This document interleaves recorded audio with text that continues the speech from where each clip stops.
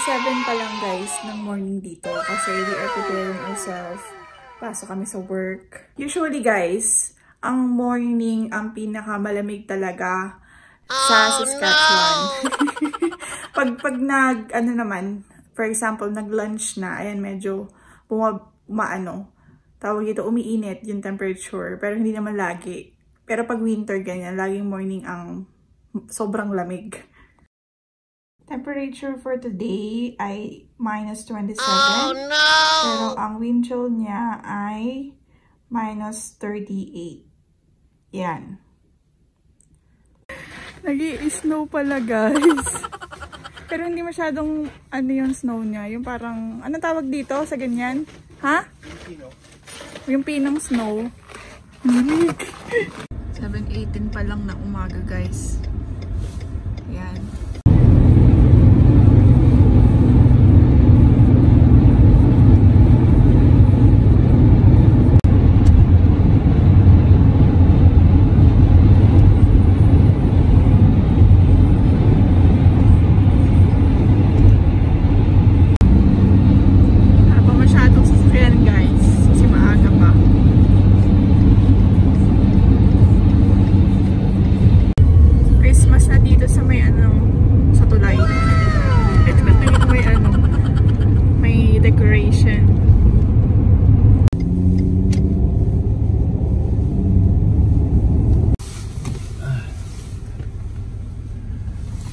Nagja-jogging pa guys, oh.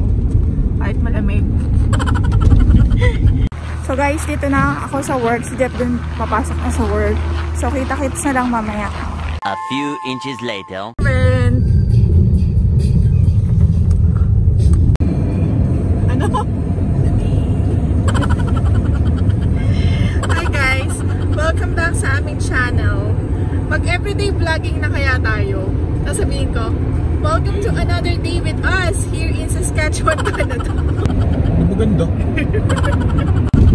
Ayan guys, ang road conditions today. And sobrang lamig guys. Ano, anong bang temperature natin?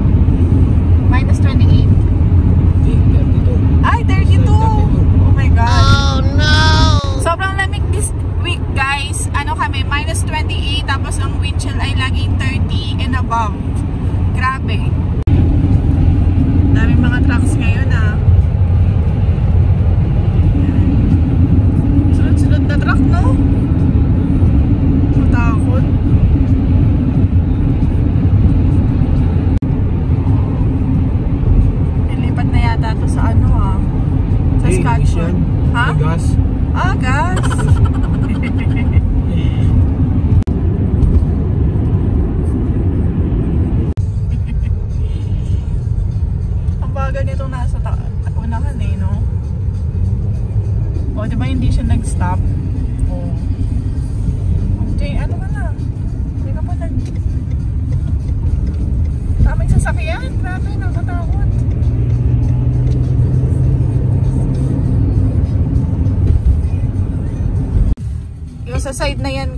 Gagawan pa ng bahay yan dyan. So, ang dami pang mga open spaces dito sa part ng Saskatoon na pagtatayuan ng bahay tsaka mga apartment, no?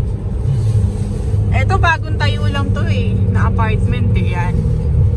Nung, nung lumipat kami dito sa Saskat Saskatoon, wala pa yan. Ano pa lang yan? Binubungkal pa lang. Pero ngayon, ayan na, nakatayo na. Ito yung apartment rentals, guys. Yan. Ito guys, oh. ito. Rent with us. Ayan, oh. Nakita nyo ba guys ang ano, contact number? Ayan, puro rental yan dyan. Now renting, oh, sabi. Ganda ng mga ano dito. Sold na yung bahay na yun. Oh. Ito yung mga ganda yung bahay guys, oh. Yan. Hile-hilera yan. Magaganda yung bahay. May tinatayo pang bahay doon, oh, tulog.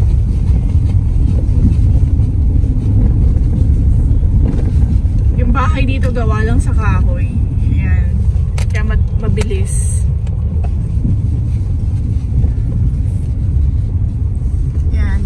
Ba tinatayo na tinatayo na yung mga bahay dito sa part na to. Saan natin? Ayan o. Isang hilera yan malapit sa eskwelahan. Ito yan yung ano eh yung dikit-dikit, no? Hmm. Same doon sa may kabila. Dikit-dikit. Ayan yan o, guys. Daming bebenta na bahay. Meron pa yan doon sa loob. Yan. Malapit sa eskwelahan. Ayan o, base lang na itayo. Parang kailan lang binubukan lang yan eh, no? Ngayon, ano na, nakatayo na. Ayan. School, eskwelahan na yan dyan. Lapit sa eskwelahan. Ayun na yung ano, oh. Ah, parang condo, no? Condo style siguro to. Kasi dikit-dikit eh. Yan. Isang hilera yan guys. Mga bagong tayo na bahay dito sa part ng ano, Saskatoon. Yan, oh. Malapit ng ma, ano, matapos. Saan natin yung finish. Finish ano nila. Yung ano, finished unit. Nung nag, nagtanong kami dito guys eh, dikit-dikit kasi yan. Ang presyo niyan 330,000. Tapos meron ka ng sariling ano, deck sa likod. Tapos one car garage. Kaso Wow. nga lang, Ano one car? two car garage ba yun? Oo. Kaso nga lang dikit-dikit to guys, ayan. Tapos may condo fee yan eh, kasi condominium yan eh. Uy, ang ganda pala ano, Jeffrey? Ay, ito, ang ganda. Bago. Ang bago. Kaya nga, ito lang yung tinatayo. Meron pa silang tinatayo dun sa dulo. Oh. Ayan yung, car yung garage na sa likod. Oh. Yan, mga bagong bahay yan guys. Ito yung garage ng bagong bahay na yan. Oh, oh dikit-dikit din. Kayo na lang papagawa ng privacy wall. Yan oh, mga bagong bahay yan dito. Ang tawag dito ay ano, mayaman, mayaman village. Mayaman community. mayaman community. Ito guys, oh. Yan. Ito? Yayamanin community. Yayamanin community yan ang tawag dito.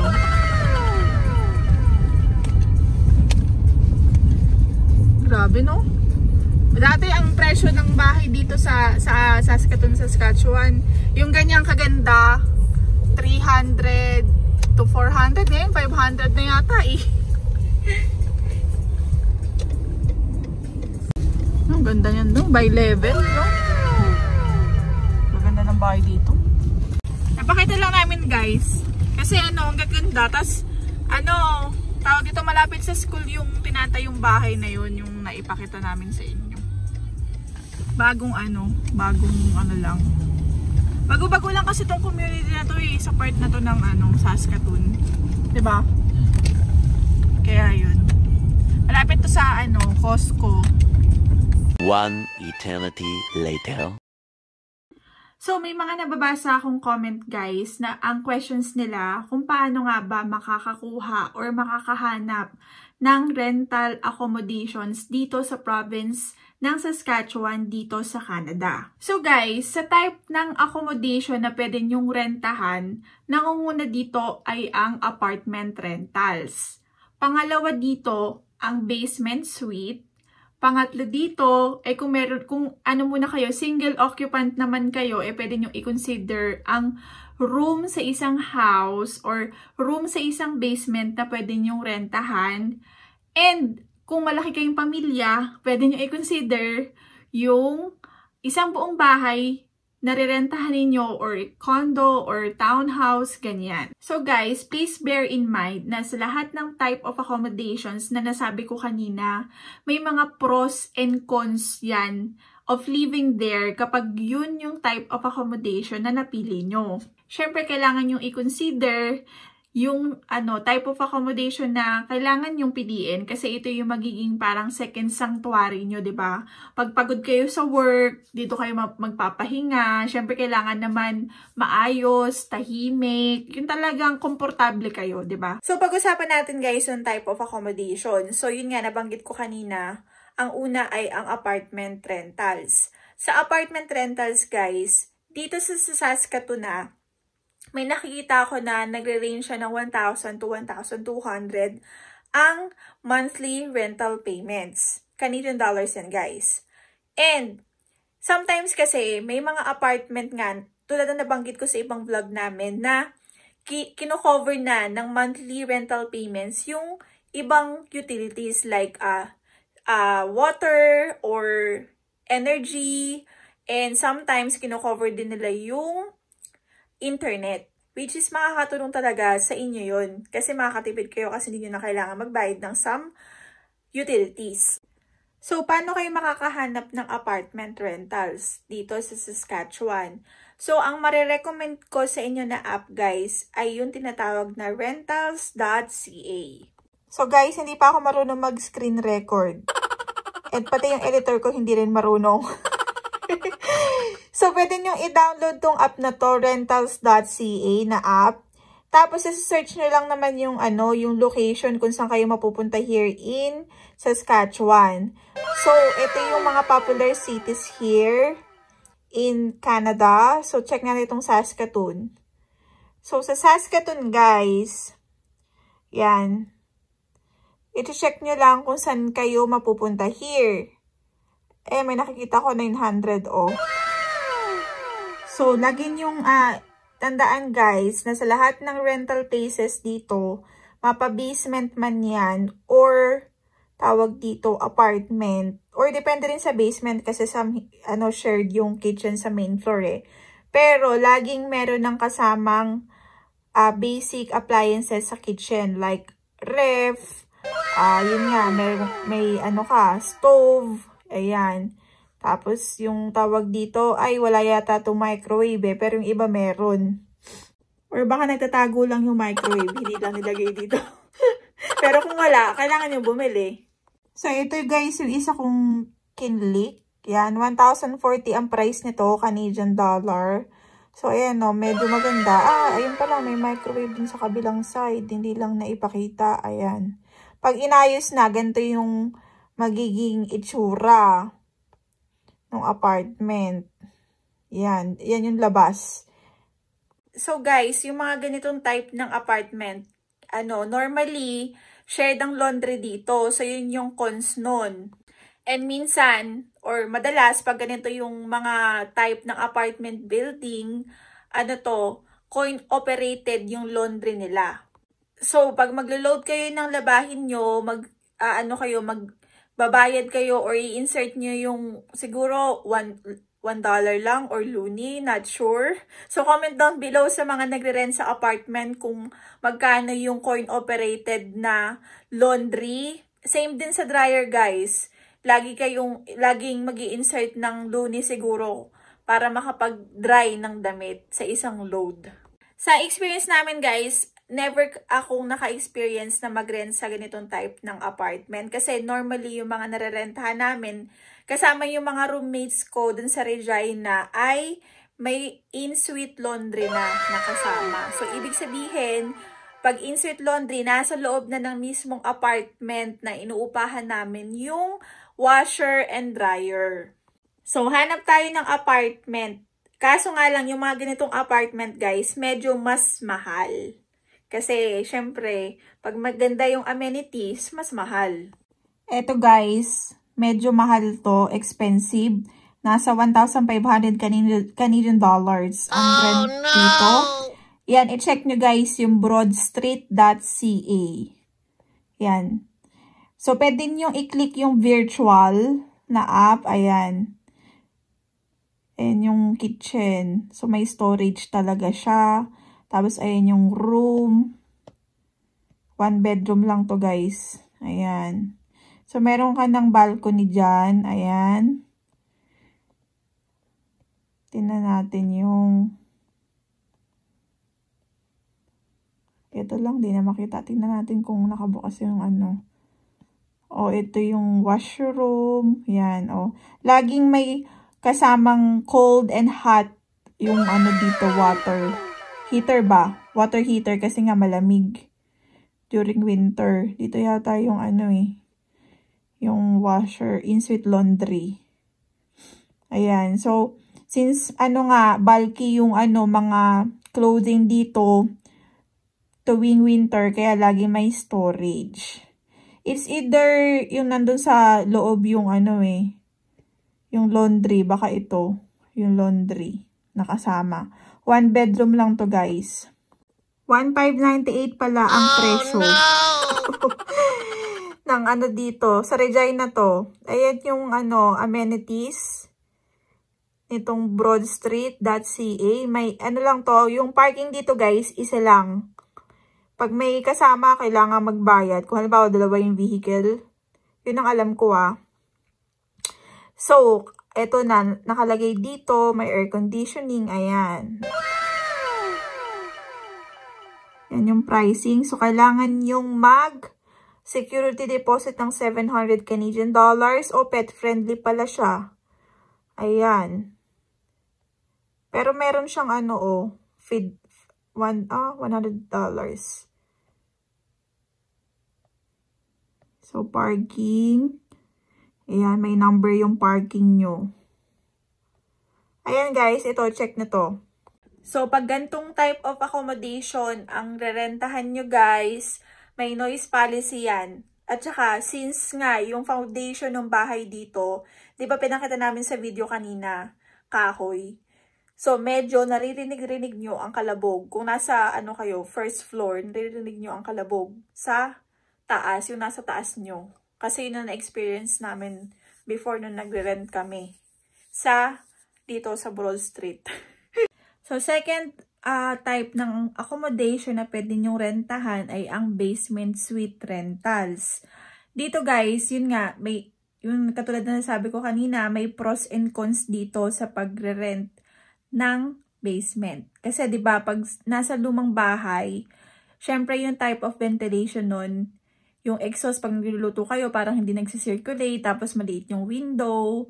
Yun yung narentahan namin sa may Regina. Kaso, inano na namin eh, kinuha na namin kasi 750 Canadian dollars a month yung renta nun. Nung nasa Regina kami.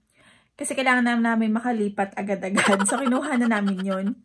Tapos, kasama na sa utility. Yung utilities kasi kasama na doon sa 750 Canadian dollars. So, parang ang binayaran lang namin ay yung ano internet. So, kumuha kami ng internet na sarili namin. Kasi iba rin yung nakatira sa ano main suite. Pinapaupahan din ng ano yun ng owner. So, kailangan namin kumuha ng sarili naming internet. Tapos, nung lumipat kami dito sa Saskatoon, guys, so, if you haven't watched our video, yung moving namin from Regina to Saskatoon, napakita namin yung itsura nung nirentahan namin sa Regina versus sa nirentahan namin sa Saskatoon. Dito naman sa Saskatoon, guys, ano, nasa magandang community tong nakuha namin na parang bago lang, bago-bago lang din na community dito sa Saskatoon.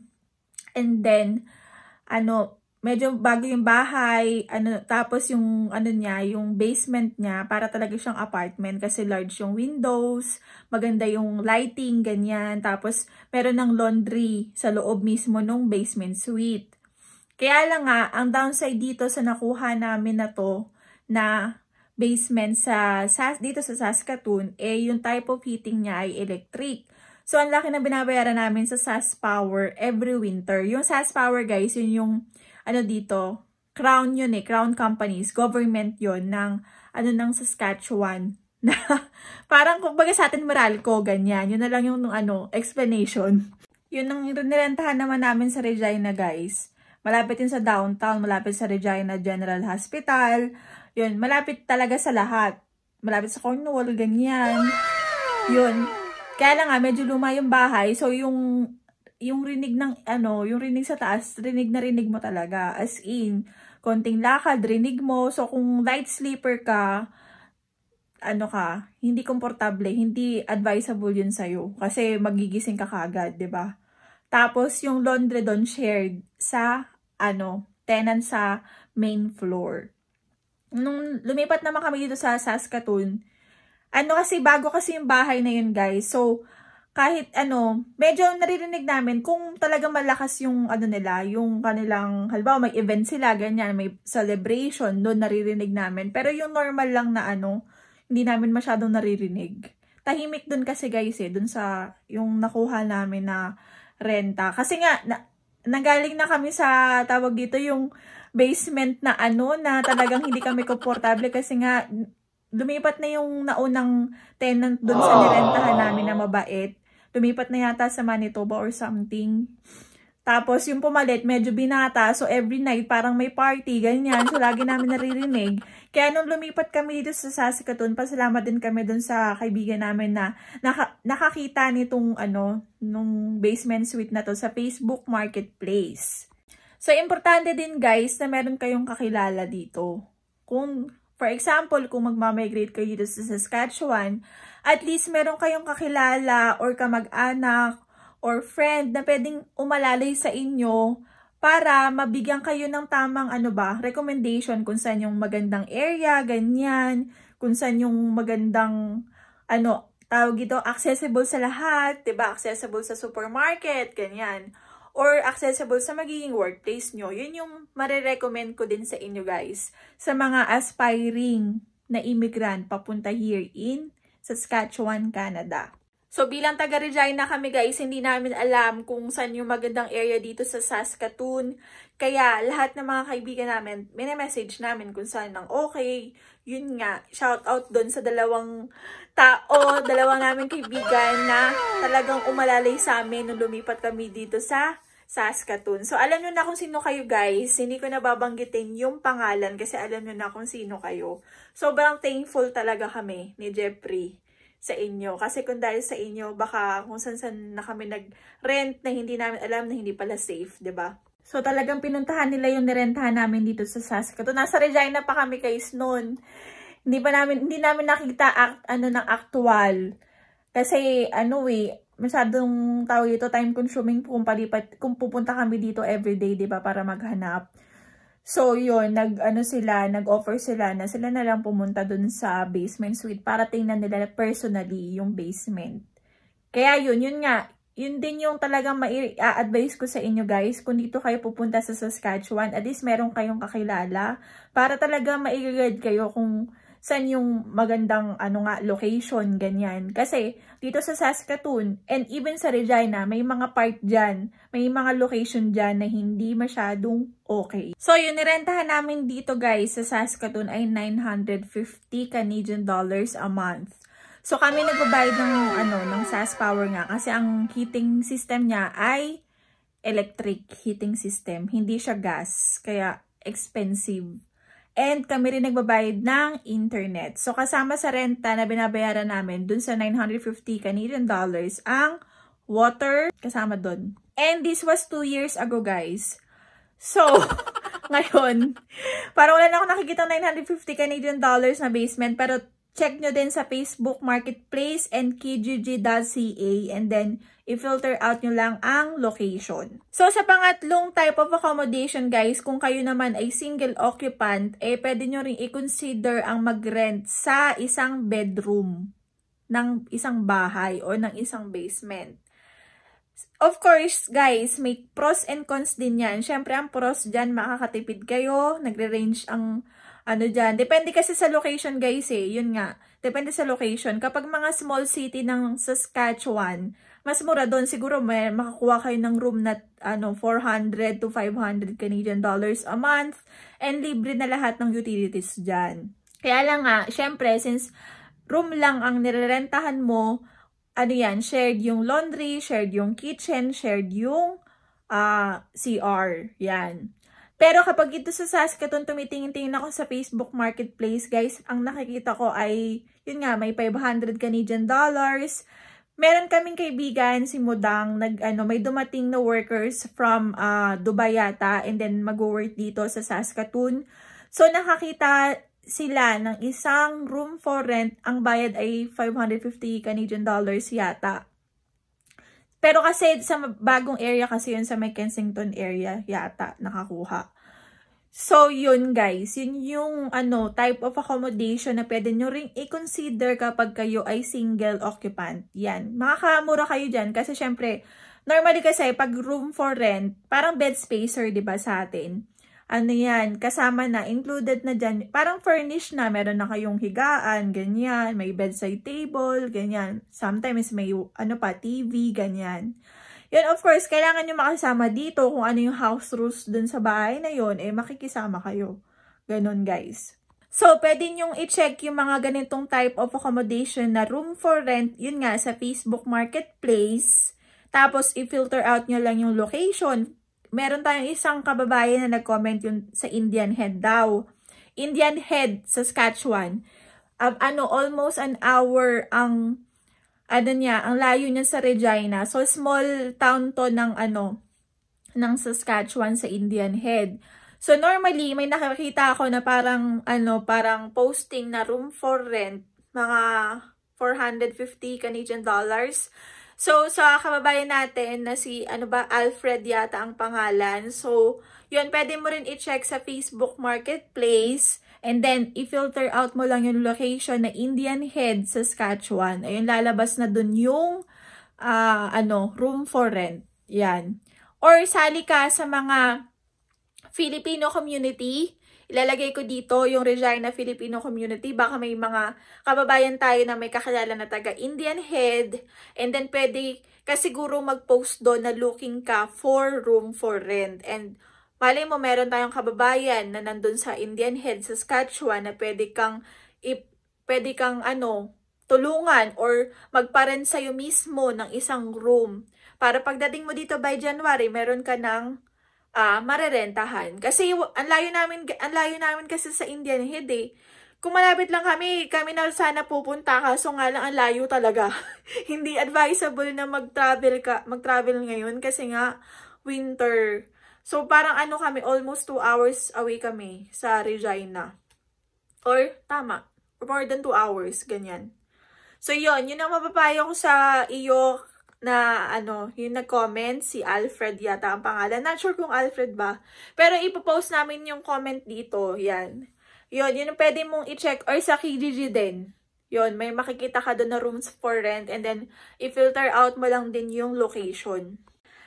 So, kung big families naman kayo, halimbawa, uh, family of five kayo, or ano, pwede nyo rin consider ang isang buong bahay isang buong bahay na rentahan. Kaya na mas mahal yan, guys. And parang homeowner kayo kasi kayo yung mag, uh, ano, magme-maintain ng front and back, ba diba?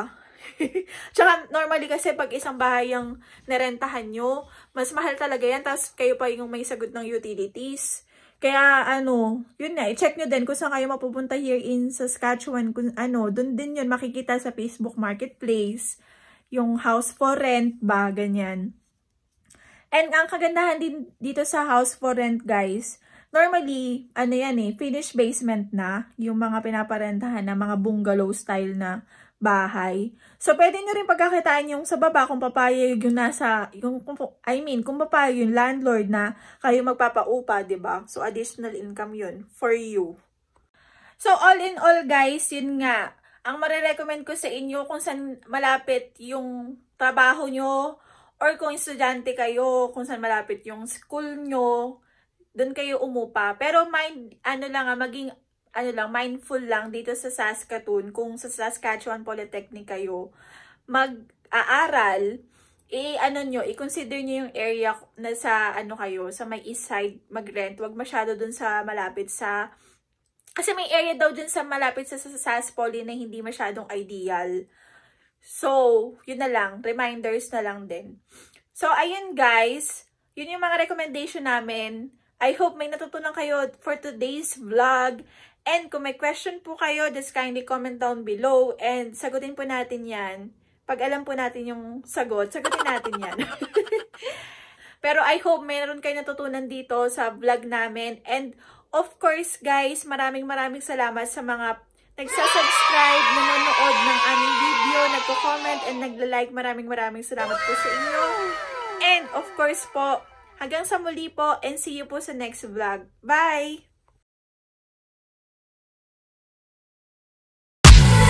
You know